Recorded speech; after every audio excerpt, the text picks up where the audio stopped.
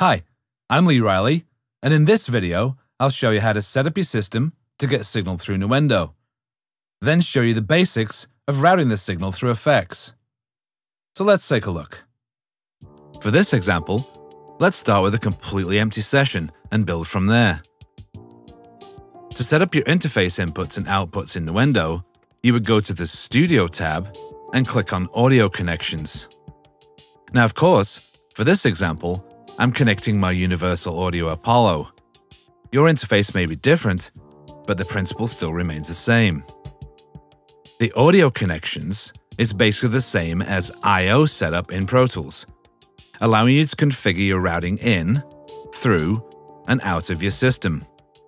Routing of channels in Nuendo, as opposed to paths in Pro Tools. A perfect place to start would be your inputs. It's as simple as clicking on the Add Bus button, a new path in Pro Tools, and assigning your required inputs. Let's keep it simple and configure one microphone input for now, and name it mic. See how it can show the audio device? But I will have to choose which connected input I want.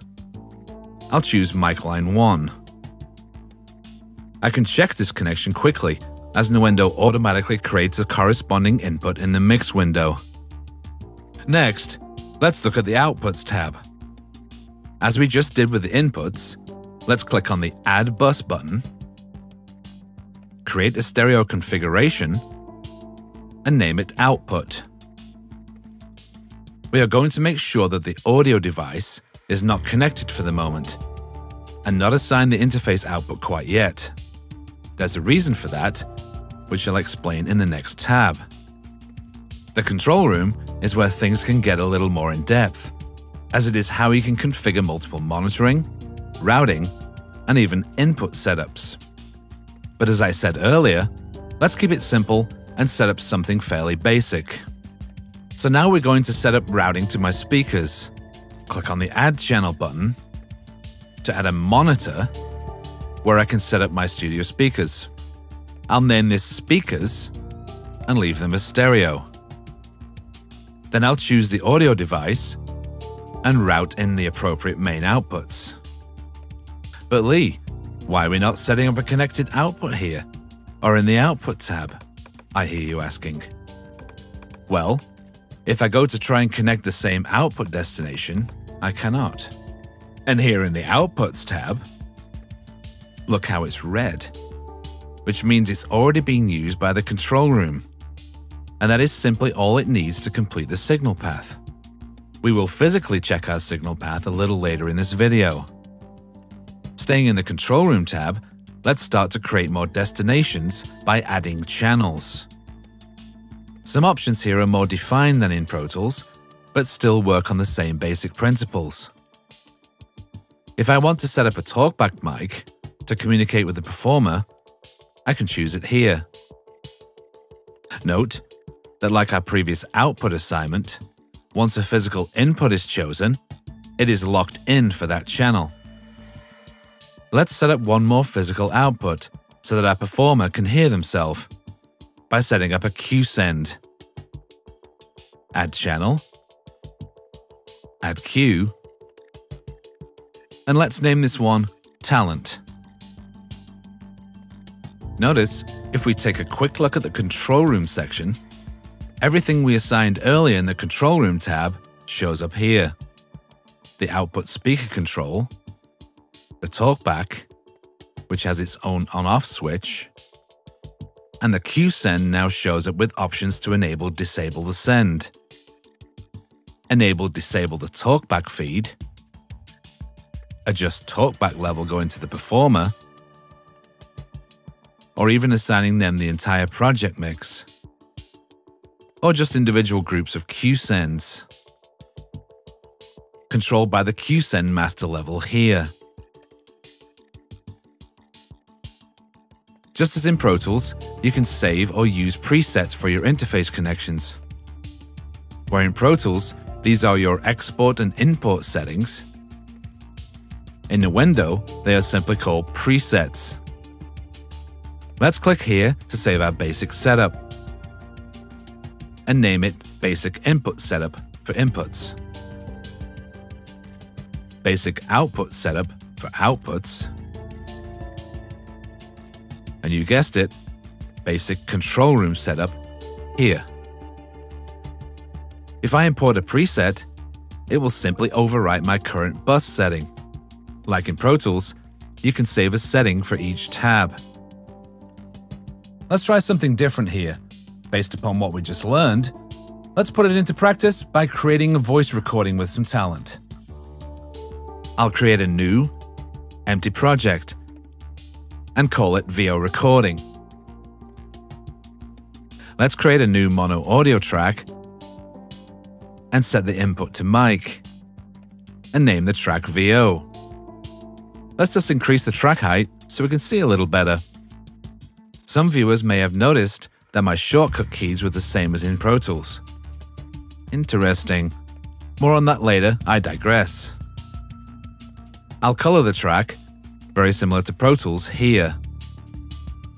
Green. You can also set the track color on the track itself, here, or here in the inspector. While the inspector is open, you can see that the input and output of the track is clearly listed. I'm going to check that my talkback is working. Here we go. Perfect. Then, let's assign a send for the talent by going to the mix window. Here I'm going to make sure the cue sends are viewed in the racks. There we go. And enable the talent cue send bus. Okay, I think we're almost ready to record our talent, but let's make sure that we can hear her. I'd like to introduce you to our talent today, and her name is Monique. Say hello, Monique. Hello, Monique. Excellent. So how are you doing today? I'm doing well, thank you. Awesome. Thank you for coming in. Thanks for having me. Well, that's uh, our pleasure, of course. So, do you think you're uh, you'd like to give this a shot? Let's go. Let's do this. Awesome. So, whenever you're ready. So, all we have to do to record at this point is to record on the track and press record, just the same as in Pro Tools. Excellent. Another one just like that.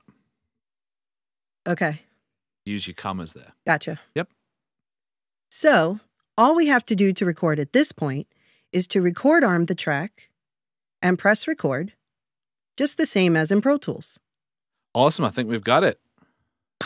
Fantastic.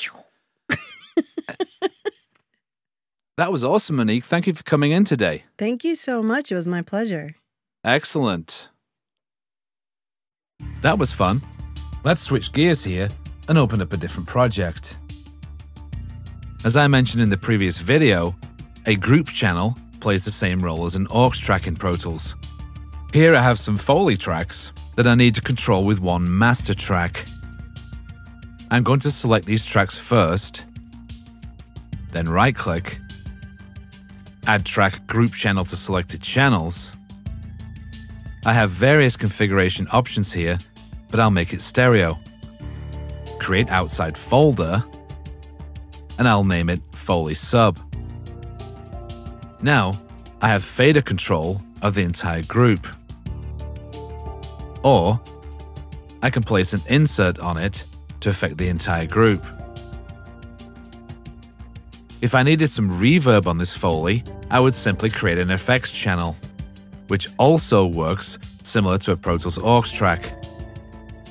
Add track, choose my reverb, create outside folder, and name it Foley Verb. All I would have to do is send the signal I need to the Foley reverb. I can do it one of two ways. From a track individually, like this, or as a group from the group channel, like this. I can activate or deactivate the send, make it pre or post fader, and determine the amount on this slider here. Pro Tools users are no doubt familiar with track presets, and in Nuendo, track presets are a very powerful and time-saving way to recall your favorite plugin templates instantly. If I wanted to save my Foley reverb track to reuse in the future project, all I would have to do is right-click, save track preset, and enter a name and press OK. Loading, or recalling a preset, is just as simple to do. But can be done either in the inspector, here, or here, showing you a huge amount of presets to use. Nice search engine too. I'm Lee Riley, and thank you for watching. I hope you enjoyed this video, and please be sure to check out the next one.